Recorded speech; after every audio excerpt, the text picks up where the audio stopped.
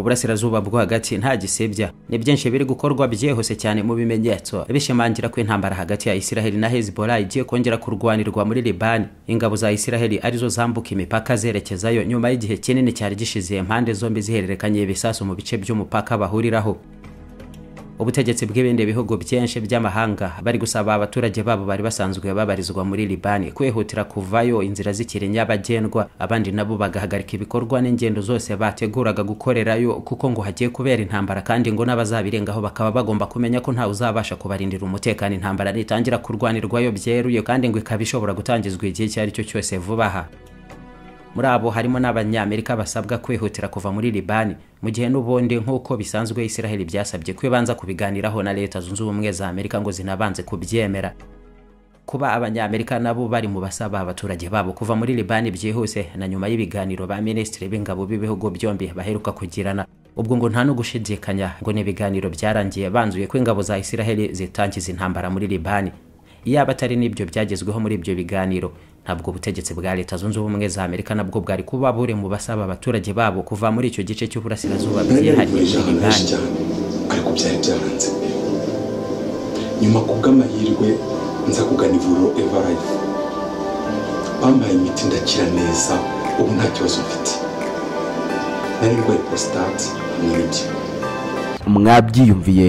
Ni ivuriro eva life rikorera nyabugogo ku mashyirahamwe. Rimaze kuba ubukombe mu rwanda no hanze yarwo mu kuvura indwara bakoresheje imiti y'ibimera kandi itunganyijwe neza mu buryo bw'ibinini pudre cyangwa likide hari abadogiteri batandukanye bagufasha kandi icyiza ni uko aho waba uherereye hose ku isi imiti yakugeraho cyane ko bakorana na dhl mu ndwara bavura twavugamo nk'iz'imyororokere zose kurangiza vuba no kubura ubushake. Indwara zifata abadamu zose igwingira ry'igitsina indwara nk'umwijima diyabete amara igifu asima abifuza kuva ku biyobyabwenge nabo barabafasha. Ku bindi bisobanuro wahamagara cyangwa ukandikira muganga kuri eva life icyizere cy'ubuzima. Mu biganiro minisitiri w'ingabo wa israel general yoav galant aheruka kugirana na mugenzi we wa leta zunze ubumwe za amerika general lloyd austin. Israel iremeza ko izi ntambara zose iri gutangiza ngo arizo kurinda umutekano w'igihugu cyabo n'abaturage babo. Ariko kandi ngo nta kibazo na kimwe bafitanye n'abaturage muri ibyo bice batangizamo intambara ibibazo ngo binakomeye cyane ahubwo babifitanye n'imitwe y'abarwanyi idasibye ibitero byayo kuri israel ubu ni hezbollah israheli yemeza ko igihe basanga kigeze ngo bayisanganire ku butaka bwa libani ngo ibisasu bahererekanya na yo kuva mu kwezi kwa cumi k'uyu mwaka ubwo byashyirwaga ku yindi ntera ngo basanga nta n'icyo byahindura ngo hezbollah ibaha amahoro n'agahenge. Ireka gukomeza kurasa ibisasu byayo mu majyaruguru ya israheli ku buryo ngo n'abari bahatuye bose ubu bimuwe. Ariko ni nako bimeze nanone ku ruhande rwa libani naho mu gice cyayo cy'amajyepfo ku mupaka na israheli abaturage babo barahimuwe. General yoav galant mu biganiro bye n'ubuyobozi bukuru bw'ingabo z'abanyamerika aho aheruka kumera ububonde nk'uwagiye gusaba uruhushya kugira ngo israheli itangize indi ntambara muri libani. Ati twebwe ubu ngubu turajwe cyane ishinga no kurinda umutekano w'abaturage bacu kandi binumvikane binamenyekane neza kuri buri wese ko intambara turimo ntaho zihurira n'abaturage b'ahandi. Ntabwo turwanya abatuye muri gaza ahubwo n'abarwanyi baho ba hamas turi mu ntambara nabo. Ntabwo kandi tugiye nanone kurwanya abaturage b'abanyalibani. Ni hezbollah turwana na yo hamwe n'ingabo za irani ziyitera inkunga yo kuturwanya no kugerageza kuturimbura. Kuva mu kwezi kwa cumi k'uyu mwaka ubwo intambara yatangiraga hagati ya hamas n'ingabo za israheli muri gaza. N'ubundi hezbollah na yo yakomeje kurwana n'ingabo za israheli irengera abanyagaza cyangwa se mu gufasha hamas nyine. Ubwo wenda benshi icyo gihe bakumva nta n'igishya kibirimo n'ubundi mu kwirirwa basubiramo ko bagiye kurwana na hezbollah. Kandi basanzwe birirwa bavunderezanyaho ibisaso bya misile ndetse n'ibitero bikorwa na za drone z'intambara. Ariko biratandukanye cyane kuri iyi nshuro kuko nta ruhande kugeza ubu rwari rwarigeze rwambuka umupaka ngo barwanire hakurya mu kindi gihugu. Byabaye uko guhererekanya ibisaso barasanaho gusa. Ndetse rimwe na rimwe n'ibindi bitero karundura rwose israheli yakomeje kugaba ku bayobozi bakuru bakuru ba hezbollah muri libani ariko ari bo bigambiriye guhitana gusa atari intambara yeruye bakorerayo. Nyamara ubu rero israheli irategura kwambutsa ingabo zayo imipaka zijya kurwanira na hezbollah ku butaka bwa libani. Binasobanura icyarimwe ko ari intambara ubwo yeruye hagati y'ibihugu byombi. Ni benshi bari bamaze igihe bibwira ko wenda ibiganiro hagati y'ubuyobozi bukuru bw'ingabo za israheli n'iz'abanyamerika byavamo guhosha iyi ntambara ibitero bisanzwe na byo bitangira kugabanywa cyangwa ntinabe intambara yarwanwa mu buryo rusange. Bamwe bambuka imipaka nk'uko bitegura kubigenza ariko ntabwo ariko byarangiye cyangwa byumvikanyweho muri ibyo biganiro ahubwo byarangiye. Abanyamerika basaba abantu babo kwihutira kuva muri libani kubera intambara yagutse ngo igiye kuhabera. Ibindi bihugu byinshi na byo aba ari uko bibigenza basaba abaturage babo bari basanzwe bari muri libani kuhava abandi nabo ntibongere guhirahira berekezayo. Ibihugu nka arabia saudite ubwongereza ubudage canada macedonia ya ruguru cyangwa se kuwait ndetse n'abandi bose barashingira no ku kuba na leta zunze ubumwe za amerika ubwazo zisanzwe zibanza kumvikana na israheli ku ntambara zayo ubwazo na zo zisaba abaturage bazo abanyamerika bose kwihutira kuva muri libani bwangu ngo hagiye kubera intambara nta gisibya uretse ibyo kandi niko mu minsi itatu yishize nabwo ibitero bya israheli bigambirira kwica abarwanyi ba hezbollah byabaye byinshi mu bice bitandukanye by'amajyepfo ya libani n'amashusho menshi agaragaza kugeza ubu inyubako zitandukanye byemezwa ko abo barwanyi bakoreragamo ziremburwa n'ibisasu rutura bya misile z'abanyayisiraheli byarasiwe kure. Ibindi bikahajugunywa na drone z'intambara. Hagati aho hari ubwato bw'intambara bw'abanyamerika uss wasp nabwo mu burasirazuba bwa mediterania bwahise bukorwaho ndetse n'abasirikare b'abanyamerika abamarine bari muri icyo gice ubu nabo bari mu myiteguro yo ku rwego rwo hejuru n'ibikorwa bigaragaza ko nta gisibya israheli igiye gutera libani. N'ibikorwa ingabo z'abanyamerika zirimo bigaragaza ko bitegura nanone gupakira abaturage babo bari basanzwe babarizwa muri icyo gice. Bagahungeshwa mbere y'uko n'imirwano itangira nk'uko babikoze n'ubundi mu bihumbi bibiri na gatandatu ubwo israheli yagabaga ibitero byayo muri libani intambara igatangira ubwo. N'abanyamerika barenga ibihumbi cumi na bitanu bose icyo gihe n'imiryango yabo ingabo zabo zabanje gupakira zirahabavana intambara ibona gutangira kurwanwa noneho. Guhagarika ibisasu hezbollah irasa muri isiraheli abaturage bayo ba isiraheli nabo bahunze ibice byegeranye cyane na libani hafi bose barahava. Ngo ibyo ni na byo bigiye gutuma rero isiraheli itangiza intambara mu majyepfo ya libani ku buryo abarwanyi ba hezbollah bahavanwa bakabarizwa kure cyane y'imipaka ya isiraheli ni isiraheli n'ubundi isanzwe yarahakoze buffer zone cyangwa zone tampon habanje gushyirwaho igice kidafite ibikorwa bindi ibyo ari byo byose bihabera cyangwa ngo hagire n'abahatura ariko byose ntacyo byatanze. Ubwo rero ngo igisigaye ni intambara na hezbollah igomba gukorwa nta kindi. Uretse kuba benshi banikanga ko Iran izahitana yibarizwa muri iyi ntambara by'ako kanya irengera Hezbollah na byo bikaba byarushaho kwagura cyane intambara Isiraheli irambyemo mu burasirazuba bwo hagati. Ikindi gihangayikishije cyane kuba bikurikiranira hafi byose. N'ikiguzi cy'iyi ntambara kuko no muri Gaza ubwaho cyabaye kinini bihanitse mu buryo bw'umubare w'abicwa n'isenya karundura rihabera kandi nanone ikaba ari n'intambara bakirwana muri iyo ntara. Kurwana na Hezbollah y'abanyalibani rero yo bushobozi bukubye inshuro nyinshi bwa Hamas y'abanyapalestine ngo bizaba injyana muntu nta kabuza kandi be nanone intambara nabwo igoranye byikubye kenshi kurusha uko biri gukorerwa muri Gaza ubu ngubu. Iyi ni intambara ya gatatu noneho Isiraheli yiteguye kurwana n'uyu mutwe w'abarwanyi ba Hezbollah ebyiri zabanje. Hezbollah yatsinze ingabo za Isiraheli igihe cyose zagiye kuyirwaniriza iwabo muri Libani. Bwa mbere nabwo barwanya igihe kinini cyane kuva mu gihumbi magana cyenda na mirongo inani na gatanu kugeza mu bihumbi bibiri. Isiraheli icyo gihe yagambiriye gufasha SLA abarwanyi biganjemo abanyalibani b'abakristo katolika ngo abari nabo bagenzura icyo gice cy'amajyepfo ya Libani. Hezbollah ihirukanwe kuko Isiraheli isanga ari bwo yagira amahoro ntihagire ibindi bitero bigabwaho na Hezbollah. Ariko byarangiye n'ubundi Hezbollah ibatsinze bararekera. Abari na yo ikomeza kuhagenzura. Ubwa kabiri intambara baheruka gucakiraniramo yabaye mu bihumbi bibiri na gatandatu. Icyo gihe yamaze iminsi mirongo itatu n'ine ingabo za Isiraheli icyo gihe zahanganiye n'aba barwanyi ba Hezbollah muri icyo gice cy'amajyaruguru ya Isiraheli.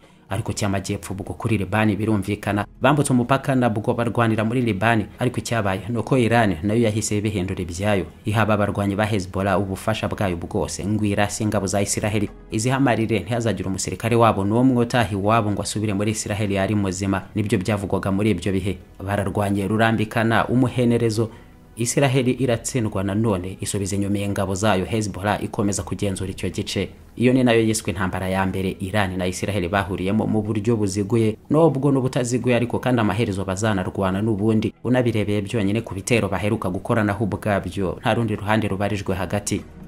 None ubu ku nshuro ya gatatu ese Isiraheli irakeka ko izabasha gutsinda Hezbollah? Bitandukanye n'izo nshuro ebyiri zabanje. Nanone gutsinda Isiraheli igambiriye kuri Hezbollah bwo ni iki? Ntabwo ari ukuyisenya burundu ntibashobora no kubikomozaho barabizi neza ko ari ibintu badashobora kugeraho. Ndetse banatangiza n'intambara kuri Hamas muri Gaza nuko bavugaga ariko nabwo byarananiranye. Niyo mvugo birinda cyane rero ubu ngubu. Kuri Israel intego noneho ngo ni ugutsensura Hezbollah bakayishushubikana berekeza abarwanyi bayo mu majyaruguru. Ibyo na byo baramutse babishoboye byagenda bite? Noneho Israel kwitakuyomeka aho icyo gice cyose cy'amajyepfo ya Liban ngo abe ari ikigenzura ubuziraherezo. Yahasiga noneho bande bahagenzura bazabana na yo amahoro biracyari nk'ibitero byakorwa ari uruhande rumwe rugambirira gusa gushegesha urundi. Mu gihe runaka cyonyine ariko mu buryo burambye bisa n'intambara itagira iherezo. Niba ahubwo atari Hezbollah izongera ikabasubira bakarwana ariko ingabo za Israel zigatsindwa zikarinda zihava zisize n'ubundi ari aba barwanyi bakihagenzura. Nk'uko byakozwe ubugira kabiri mu ntambara zose bahuriyemo. Ntibyanaba kure cyane y'ibyo. Mu gihe na boss wa Hezbollah bwana Sayed Hassan Nasrallah avuga ko bashemera byimazeyo Iran ku bufasha ngo iri kubagenera mu gutegura intambara izahana Israel bitarabaho ngo bategereje n'amashyushyu yose ingabo za Israel zigiye kubona irembe muri Libani. Ati satani mukuru leta zunze ubumwe za Amerika n'abagome b'abagambanyi bafatanije nabo abasioniste Israel ubu barakomangesha iminwa y'imbunda zabo inzoge zacu ngo binjire. Ariko Iran yo kagira imigisha yose y'Imana yaducigatishije inkota tuzabacisha amaboko intwaro bafite zitakare hasi tubasogoteshe inkota za Iran ku butaka bwa Libani. Amagambo y'uyu muyobozi mukuru wa Hezbollah arumvikanisha ko bamaze igihe kinini ku bufasha bwa Iran. N'ubundi bategura koko kwakira ingabo za Israel mu ntambara ya gatatu bagomba kurwana nta kabuza rwose hakurikijwe uko ibintu byose biri kugenda bisimburanwa vuba vuba muri ibi bihe. Kuva mu bihumbi bibiri na karindwi Hezbollah yakiriye abarwanyi benshi bashya. Bashobora kuba barenga ibihumbi mirongo ine bose bakomoka n'ubundi muri icyo gice cyegera cyane Israel mu majyepfo ya Libani n'amajyaruguru ya Israel abandi basore n'inkumi b'abasivile mu bice mirongo ine na bitanu bibarizwa mu tugi duto duto n'imidugudu iri hafi cyane n'umupaka wa Israel bose barangije guhabwa imyitozo ya gisirikare. Nyamara abandi mu burengerazuba bw'isi nanone bakaburira Libani abayisaba kubuza Hezbollah gushotora Israel no kuyihozaho ibitero byabo ngo kuko uburyo baba bakeka ko bakomeye bwose cyangwa ngo bakwitwaza n'ibitwaro bahabwa na Iran ngo Israel mu gihe gito gusa yahindura Hezbollah nk'abarwanyi bo mu bihe bya mbere ya Yezu barwanisha amacumu n'imyambi gusa. Byose ngo bikagerwaho hari abaturage b'abanyalibani babyishyuye ku kiguzi gihambaye kirimo kwicwa ku bwinshi no gusenyerwa imijyi n'ibikorwa remezo byabo hahindurwa amatongo.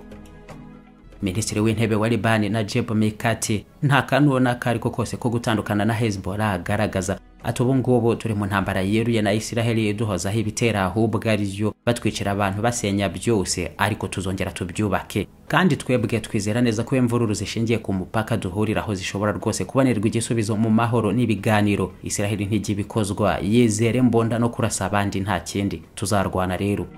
Uramutse ukurikirana neza ibibera muri iki gice cy'uburasirazuba bwo hagati. Ntabwo wabura kwibaza ubundi impamvu niyo isiraheli yavuga ko ugiye kurwana muri libani batajya bavuga ko binjiye mu ntambara yeruye n'iki gihugu cya libani niyo barwanira na hezbollah ku butaka bwa libani nyine. Impamvu ni izi. Hezbollah ni umutwe w'abarwanyi b'ishyaka ari naryo hezbollah riri ku butegetsi aho muri libani ariko ikaba libani ifite n'igisirikare cyayo nk'ibindi bihugu byose ku ruhande ari na cyo cya leta gitandukanye cyane na hezbollah. Ibyo ni ibintu bisobanura ko haramutse haje irindi shyaka ritegeka libani ahari byabanza gusaba ko rihangana n'aba barwanyi ba hezbollah wenda bitanasabye ko rirwana n'ingabo za leta. Bigasaba no kubanza na yo kuyitsinda cyane ko inahambaye noneho kurusha n'ingabo za leta ubwazo haba mu mikoro ikoranabuhanga ubunararibonye mu ntambara ndetse n'ibindi. Ibyo na byo ni ibintu bigoranye kubyumva kuko atari henshi mu bindi bihugu byakorwa uko. Kandi na hezbollah yatangiye nk'izindi nsoresore zose zishyigikira amashyaka byihariye ari ku butegetsi ariko bagenda bahindukamo igisirikare karundura cy'umwuga. Bagira ikoranabuhanga ryose rigezweho nk'izindi ngabo z'ibihugu ibyo ari byo byose mu isi.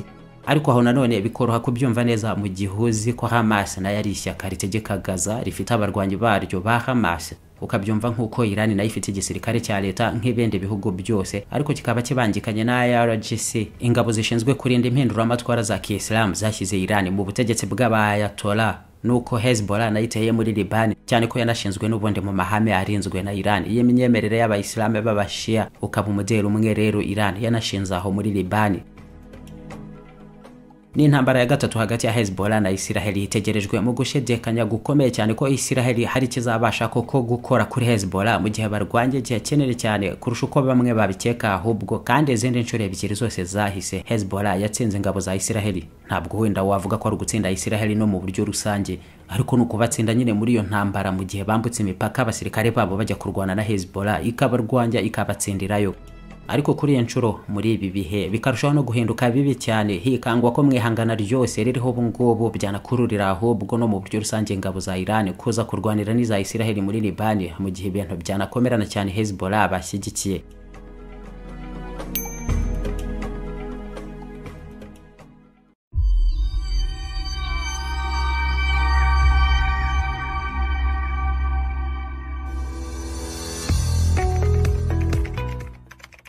Ifex technology limited.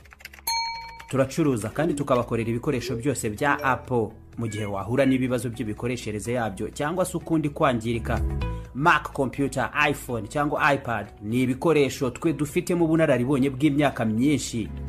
Waduhamagara kandi kuri zeru karindwi mirongo inani n'umunani mirongo ine na kane makumyabiri na rimwe makumyabiri na karindwi. Ifix technology limited. We are apple devices experts. Waba wifuza sale nziza yo gukoreramo ubukwe inama cyangwa ibindi birori bitandukanye? Gana inzozi park. Ese waba wifuza ahantu wasohokera ukishimana n'abawe? Muri inzozi park bar restaurant tubakirana ubwuzu muri inzozi park kandi tubafite n'izindi serivisi zitandukanye nka dekorasiyo sonorizasiyo kandi tunategurira amafunguro abahakoreye ubukwe inama ndetse n'ibindi birori bitandukanye. Tunatanga serivisi ya food catering ahariho hose. Izo serivisi zose tuzibaha ku biciro byiza utasanga ahandi. Inzozi park dukorera i gahanga kuri kaburimbo hafi ya sitasiyo mereza inzozi park. Duhamagare cyangwa utwohereze whatsapp. Kuri zeru karindwi umunani umunani magana atatu mirongo itatu na gatandatu. Magana cyenda mirongo itatu na kabiri. Nari narivurije ahantu henshi cyane. Ariko byari byaranze. Nyuma ku bw'amahirwe nza kugana ivuriro eva life bampaye imiti ndakira neza. Ubu nta kibazo mfite. Nari ndwaye prostate hamwe n'ibyo. Mwabyiyumviye. Ni ivuriro eva life rikorera nyabugogo ku mashyirahamwe. Rimaze kuba ubukombe mu rwanda no hanze yarwo mu kuvura indwara bakoresheje imiti y'ibimera kandi itunganyijwe neza mu buryo bw'ibinini pudre cyangwa likide hari abadogiteri batandukanye bagufasha kandi icyiza ni uko aho waba uherereye hose ku isi imiti yakugeraho cyane ko bakorana na dhl mu ndwara bavura twavugamo nk'iz'imyororokere zose kurangiza vuba no kubura ubushake. Indwara zifata abadamu zose igwingira ry'igitsina indwara nk'umwijima diyabete amara igifu asima abifuza kuva ku biyobyabwenge nabo barabafasha. Ku bindi bisobanuro wahamagara cyangwa ukandikira muganga kuri eva life icyizere cy'ubuzima.